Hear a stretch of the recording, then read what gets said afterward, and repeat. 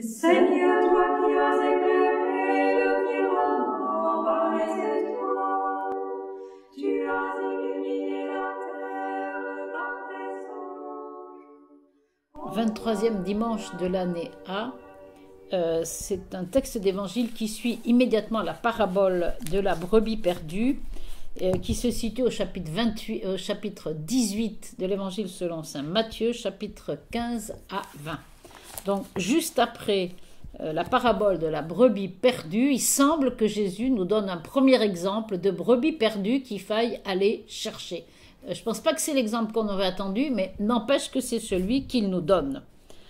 Si ton frère a commis un péché contre toi, va lui faire des reproches seul à seul. Donc il semble bien que dans l'histoire, là, la brebis perdue, c'est un frère de la communauté chrétienne, parce que ce texte se situe dans le cadre d'une communauté chrétienne ou d'une communauté qui se veut chrétienne ou qui se voudrait chrétienne.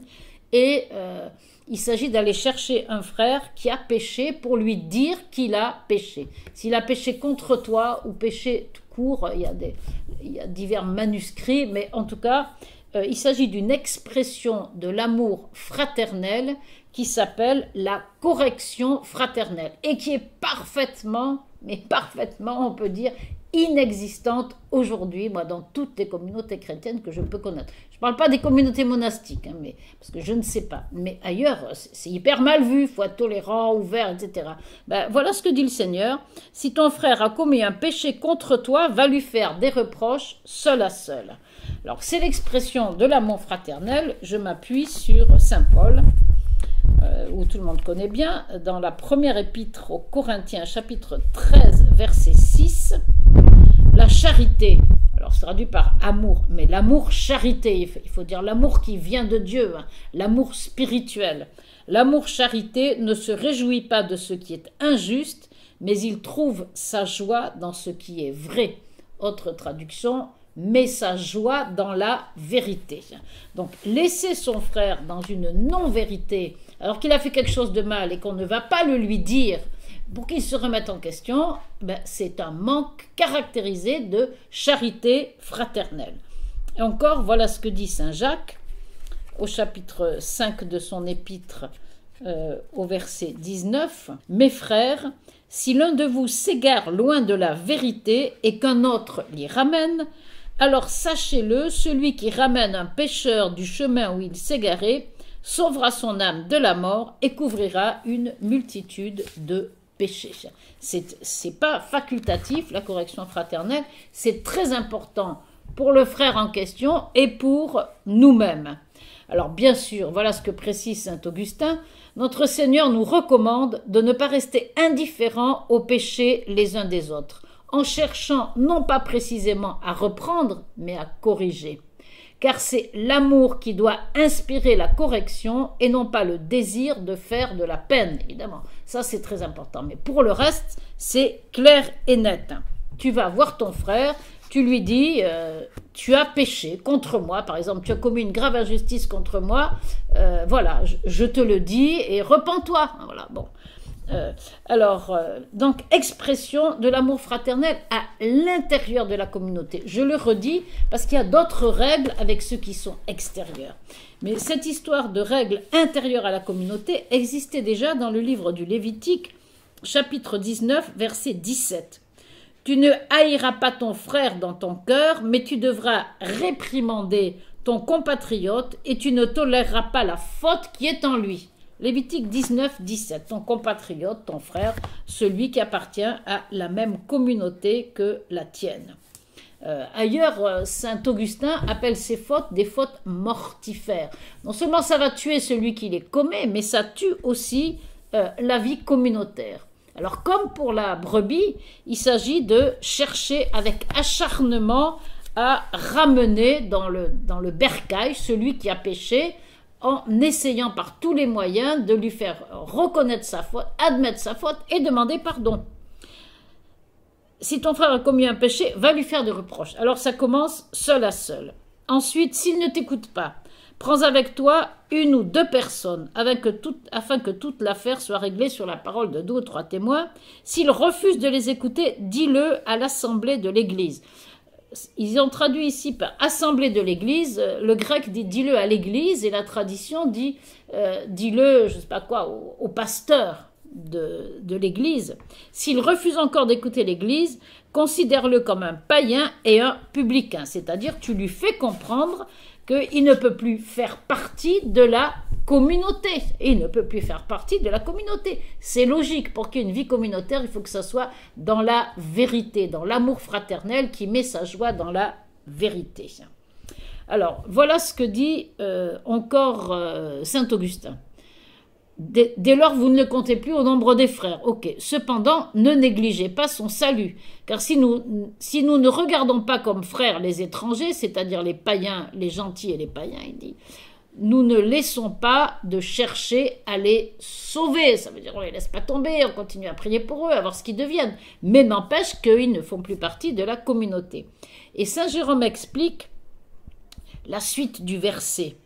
Amen, je vous le dis, tout ce que vous aurez lié sur la terre sera lié dans le ciel, et tout ce que vous aurez délié sur la terre sera délié dans le ciel. Autrement dit, si celui à qui on va dire tu as péché contre moi prend conscience de ce que tu as fait. Notre Seigneur venait de dire s'il n'écoute pas l'Église, qu'il soit pour vous comme un païen et comme un publicain. Celui qui se trouvait ainsi rejeté aurait pu répondre ou du moins penser vous me méprisez, eh bien moi aussi je vous méprise. Vous me condamnez, je vous condamne également. C'est pourquoi le Seigneur donne ici aux apôtres un pouvoir vraiment extraordinaire extraordinaire de manière à faire comprendre à ceux qui sont frappés par leur condamnation que la sentence de la terre est confirmée par le jugement de Dieu. Et c'est pour cela qu'il ajoute, je vous le dis en vérité, tout ce que vous lirez, etc. Les, pasteurs, les prêtres, à travers le sacrement de la réconciliation, c'est un jugement objectif donné par Dieu sur la situation. Alors l'autre ne peut pas dire, vous pensez ça et moi je pense ça. Si l'Église pense quelque chose dans ce cadre-là, on estime que l'Église a bien discerné. Tout ce que vous aurez lié sur la terre sera lié dans les cieux. Voilà. Alors, euh, le problème, le Seigneur ajoute que le grand problème des communautés désunies, des communautés où il y a des péchés contre contre le, la, justice, contre l'amour fraternel, au nom de l'esprit de corps, qui est la chose la plus mondaine qui soit. Hein. Euh, voilà, l'esprit le, de corps, le, le, le fait de, de, de, ne vouloir faire de mal à personne, etc. Ça, c'est complètement mondain. On fonctionne comme dans le monde. Voilà, c'est très dommage, mais c'est souvent comme ça. Hein. Donc la réponse, heureusement, il y, a une, réponse véritable et magnifique, c'est la communion dans la prière. C'est retrouver la communion dans la prière. Et c'est ce que le Seigneur dit. Hein. Le remède, d'une certaine manière, c'est la prière, la louange et cette prière dans la communion.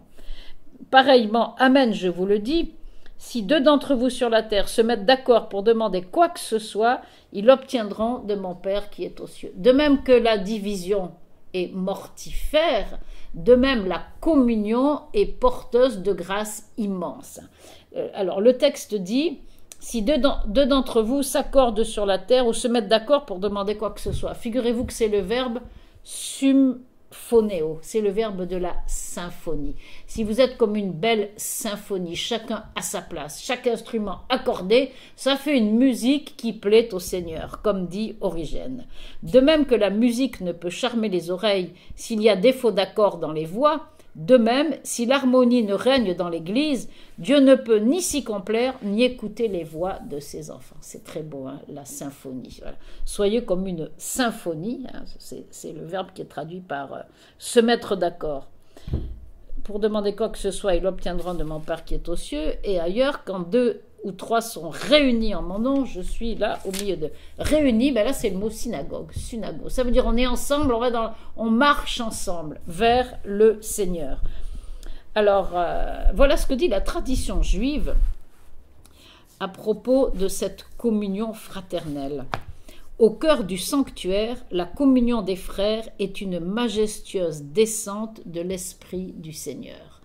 Et là, la tradition juive s'appuie sur le magnifique psaume 132 hein, sur l'amour fraternel qu'il faut apprendre par cœur et essayer de vivre. Vous savez, Hinematov Manaim Gam Yaran, qu'il est bon, qu'il est excellent pour des frères d'être ensemble, de vivre ensemble. Et c'est comme un baume précieux qui descend. Un baume précieux, c'est l'Esprit Saint. Ça fait descendre l'Esprit Saint. Vous voyez, la communion des cœurs fait descendre l'Esprit Saint.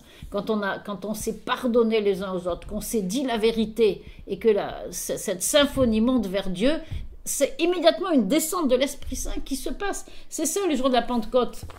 Qu'est-ce qu'ils étaient en train de faire le jour de la Pentecôte? Acte 2, 1.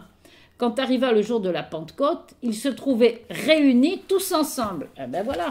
Et qu'est-ce qui s'est passé? L'Esprit Saint est descendu sur eux. Réunis tous ensemble pour rendre grâce au Seigneur en célébrant la fête de la Pentecôte. Voilà euh, ce que dit Saint Jérôme encore.